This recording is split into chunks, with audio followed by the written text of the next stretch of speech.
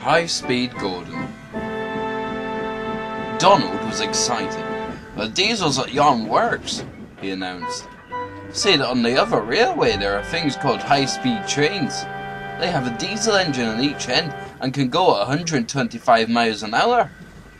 Gordon snorted. An engine at each end? he said scornfully.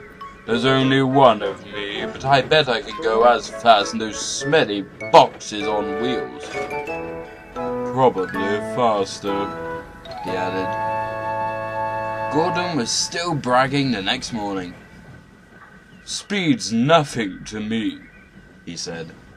Why, one of my Doncaster cousins went at 125 miles an hour.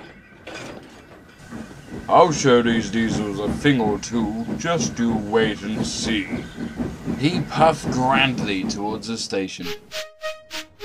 Many visitors came to see the Fat Controller's railway. They often used the express, so it was usually full and heavy. Carriages of the express stood under the cover of the station roof. But when Gordon was coupled to them, his cab and front end stood outside. He grew colder and colder as he waited for the guard to blow his whistle and wave his green flag. Come on, he shouted impatiently. Let's get started. At long last, Gordon heard the whistle.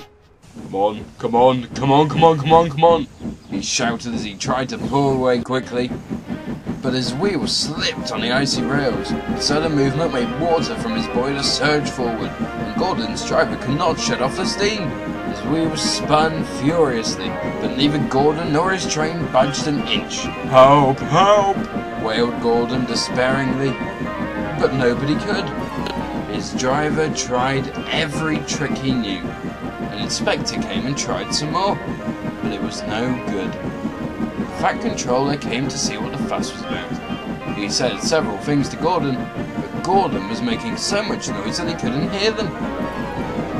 It was a quarter of an hour before Gordon had used up all his steam. Reduced pressure allowed the driver to close the regulator, and with a deep sigh of relief, Gordon felt his wheels stop turning. The silence was amazing. Donald came to take Gordon to the shed, and Henry came to the express. The shed was empty. Donald tactfully remembered another job and left Gordon on his own. But that night, Gordon heard a whisper from close by. Did you hear it? It hissed. How Gordon went for a spin today? There was a quiet chuckle. Gordon seethed in silence. High-speed engines are all very well, but Gordon should know by now that he's supposed to move his train too. Gordon snorted disgustedly, and with a gasp, the whisper subsided into silence.